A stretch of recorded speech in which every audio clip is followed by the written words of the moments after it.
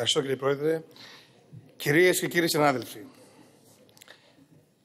μετά από τέσσερις αναπτυξιακούς προϋπολογισμούς προσανατολισμένους προς τις ανάγκες των πολλών, η κυβέρνηση της Νέας Δημοκρατίας επιστρέφει με έναν αντικοινωνικό και αντιαναπτυξιακό προπολογισμό για να διαλύσει κάθε κοινωνική πρόνοια και να αποδείξει ότι οι διακηρύξεις της πριν τις εκλογές ήταν άνθρακες και όχι θησαυρός.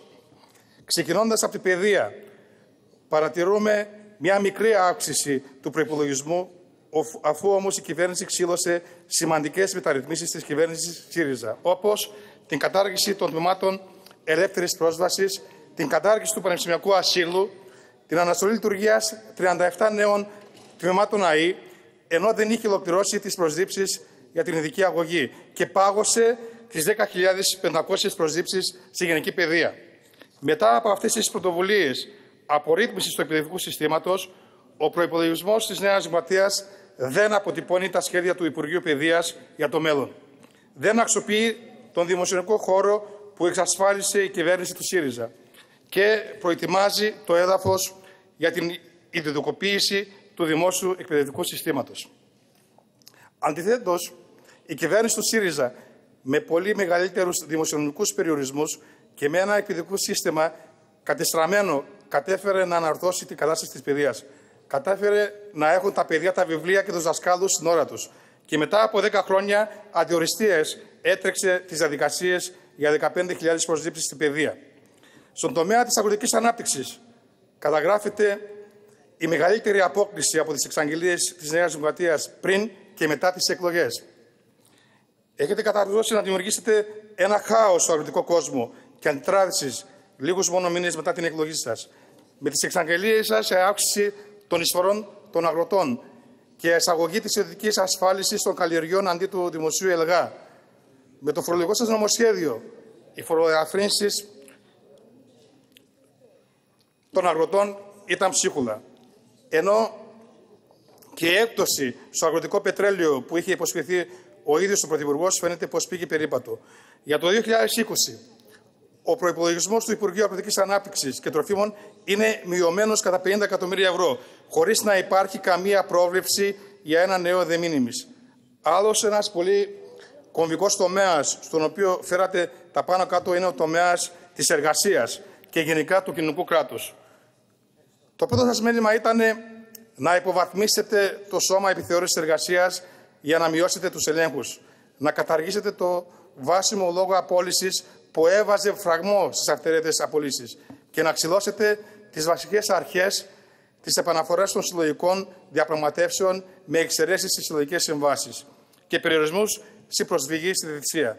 Μετά από όλα αυτά, βλέπουμε αρνητικό ρεκόρ 18 ετίας για το ισοζύγιο προσδίψεων απολύσεων το Οκτώβριο. Στον προλογισμό σας Καμιά αναφορά την αύξηση του κάτω μισθού. Αναλογικά με την ανάπτυξη δεν βλέπουμε. Αλλά αντίθετα βλέπουμε μια μείωση στο πρόγραμμα δημόσιων επενδύσεων προς τον ΟΑΕΔ. Δηλαδή λιγότερα προγράμματα για τους άνεργους και μείωση της συνεργατική δαπάνης, δηλαδή λιγότερες συντάξεις. Στην κοινωνική πρόνοια, μόνη σας παρέμβαση είναι το επίδομα των 2.000 ευρώ στις νέες οικογένειες για κάθε παιδί. Αλλά από την άλλη, υπάρχει μία μείωση στα προνοιακά επιδόματα για τα ΑΜΕΑ, τα οικογενειακά επιδόματα, το επίδομα ενοικίου και να μην ξεχάσουμε τις σοβαρές μειώσεις στο κοινωνικό μέρισμα. Λίγο πριν τελειώσω την ομιλία μου, επιτρέψτε μου να αναφερθώ και στα προβλήματα της περιφέρειάς μου, της Ράκης και του νομού μου της Ξάνθης και στο πώς είναι η κατάσταση στον τόπο μου με την κυβέρνησή σας. Η Τράκη, που μετά τις πολλές διακρατικές συμφωνίες της κυβέρνησης ΣΥΡΙΖΑ είχε ξεκινήσει να μετατρέπεται σε εμπορικό κόμβο και πραγματικό σταυροδρόμι δύο υπήρων. Ξαφνικά, με τον ερχομό σας, επέστρεψε στη στασιμότητα. Στασιμότητα που συνοδεύεται με πάυση πολλών έργων υποδομής και στη Ξάνθη, όπως η κατασκευή του δρόμου του Κεντάβρου και την πάυση της στήριξης των Δήμων στην περιοχή μετά το κόψιμο από το Φιλόδημο. Η κυβέρνηση σας που επένδυσε προκλητικά στη μείωση του brain drain δεν δίνει κάρα για το πώς θα φέρει πίσω τους χιλιάδες εργαζόμενους που βγαίνουν στα ναυπηγεία και εργοστάσια της Γερμανίας, της Φιλανδίας και της Ολλανδίας για να δουλέψουν και στην ουσία είναι αυτοί που κατάνε ακόμα όρθια την οικονομία της Σάνθης. Ενώ πολεμάει και την καπνοκαλλιέργεια την παραδοσιακή καλλιέργεια που είναι σήμερα κατατένια την περιοχή μου. Δεν δίνει κινήτρα στους αγρότες να τη συνεχίσουν και δεν διαπραγματεύεται καν μια ενίσχυση δε μήνυμης από τις ζημίες στις καλλιεργίες του καλοκαιριού που κινδυνεύει μια ποιοτικότερη ποιότητα παγκοσμίως να τελειώσει. Όσο για την εκπαίδευση, δυστυχώς η παρούσα κυβέρνηση δεν δείχνει την ίδια πρόθεση με τη δικιά μας. Όταν μετέφερα τα προβλήματα της μειονοτική εκπαίδευσης και το πρόβλημα στέγασης του μειονοτικού γυμνασίου Γλυκείου, ένα πολύ σοβαρό θέμα που είχε να κάνει με την ασφάλεια των μαθητών, η ηγεσία του Υπουργείου Παιδείας μας αντιμετώπισε με περιπεκτική διάθεση και δεν έδειξε καμία πρόθεση για να βρεθεί μια λύση.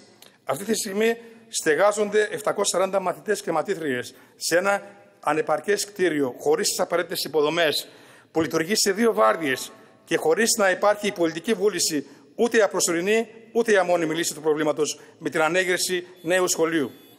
Ούτε στα πάγια ζητήματα της μειονότητας για την προκήρυξη εκλογών στις διαχειριστικές επιτροπές της Βακούβικης Περουσίας, ούτε στο ζήτημα της εκλογής μουφτή δεν παίρνετε καμία πρωτοβουλία.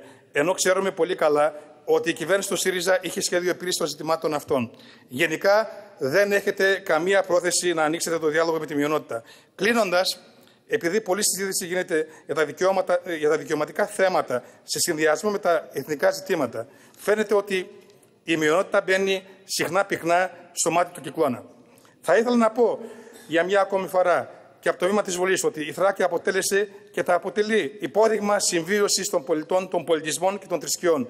Η κυβέρνηση οφείλει να προστατέψει την μειονότητα από εκρήξεις μυσαλλοδοξία και διχασμού και όχι να τις ενθαρρύνει από τα σώματα των αξιωματούχων τη. Οφείλει να, να καταδικάσει τέτοιες πρακτικές και δεν θυμάμαι να άκουσα κανέναν συνάδελφο της συμπολίτευσης να καταδικάζει τέτοιες ακραίες δόσει. Τελειώνω, Πρόεδρε.